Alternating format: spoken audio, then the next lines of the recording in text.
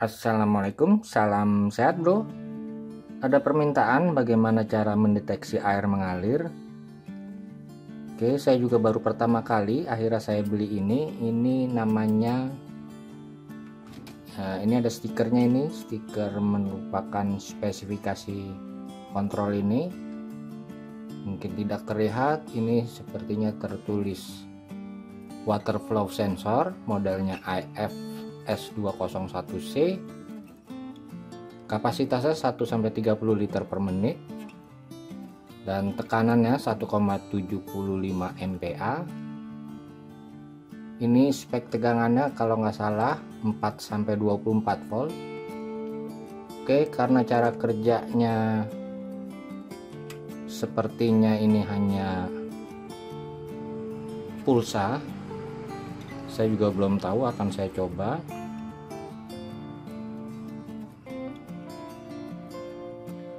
Oke karena dari spesifikasinya cara kerjanya mengeluarkan pulsa artinya ini kabel data pulsa yang kuning yang hitam tentunya ground dan ini positif. Oke untuk mudahnya akan saya coba di luar saja dan saya tidak buka dahulu di akhir video saja saya buka ini. Karena ada bautnya jadi mudah dibuka saya juga belum tahu dalamnya. Kita coba dahulu apakah bocor Oke saya rapikan dahulu untuk dicoba. Oh ya sensornya akan saya buat menggunakan LED saja. Oke.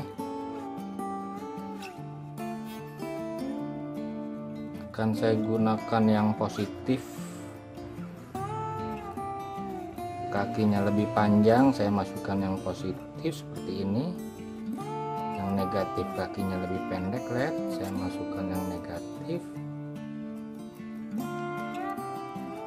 Oke akan saya gunakan R1 kilo di kabel dat di data kabelnya. Seperti ini saja nanti akan saya pasang. Dan saya akan gunakan catu power bank saja. Oke saya rapikan dahulu Oke karena akan saya buat bila ada aliran air lampu led menyala saya pasang seperti ini saja. Kalian lihat. Jadi ini positif charger positif charger kemudian ground kemudian data. Terlihat. Jadi akan saya pasang seperti ini Oke akan saya pasang dahulu. Oke yang kalian perhatikan yang kalian perhatikan positif negatifnya jangan sampai terbalik karena saya tidak tahu apakah ada proteksi tegangan terbaliknya.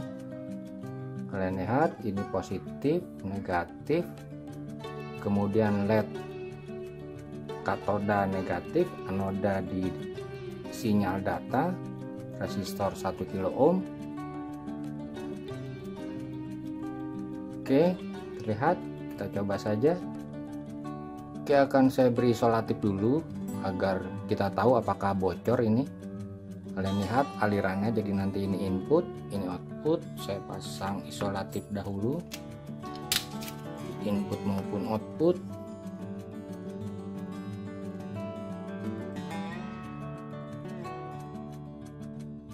Oke, outputnya saya beri keran saja.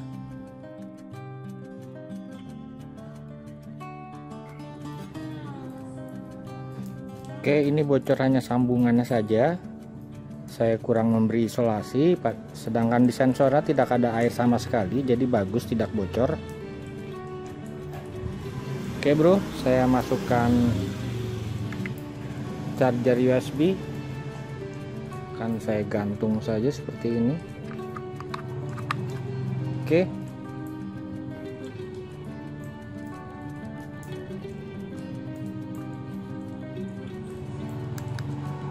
sudah. Kalian lihat sensornya.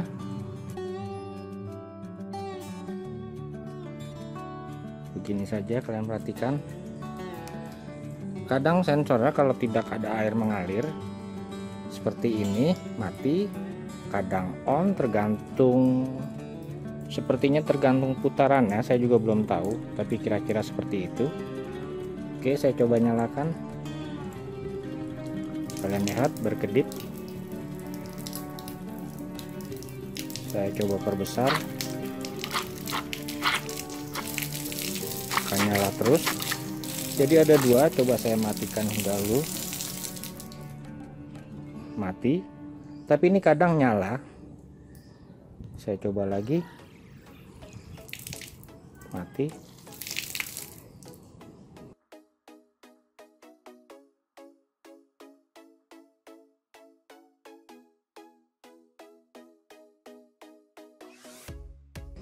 nah ini dia. Jadi tergantung normalinya tapi tidak masalah. Jadi bila ada aliran mengalir LED akan berkedip. Jadi harus didesain seperti itu bukan on atau off. Karena kadang tidak mengalir nyala. Yang pasti bila ada aliran dia akan berkedip.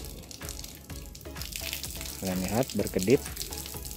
Jadi bila tidak mengalir kadang nyala kadang mati oke paham ya bro.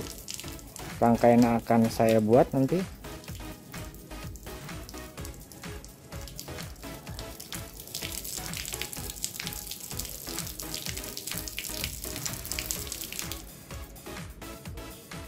Jadi kita harus deteksi pulsanya untuk menentukan air mengalir atau tidak. Oke akan saya coba buka jadi ini bagus tidak bocor sama sekali.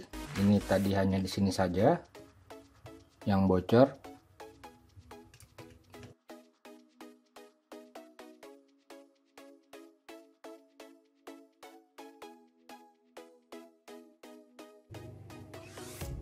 Oke, bisa ditarik. Oh hanya sensor saja. Jadi tidak bocor kalian perhatikan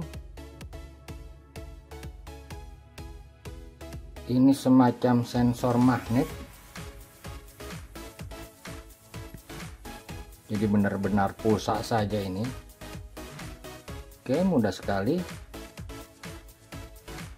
Tinggal kita tambah saja jadi tidak masalah. Bila kalian buka ini hanya sensor.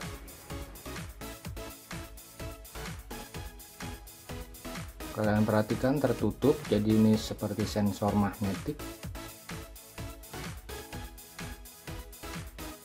oke bro tidak ada yang aneh lagi. Rangkaiannya hanya sensor dan resistor.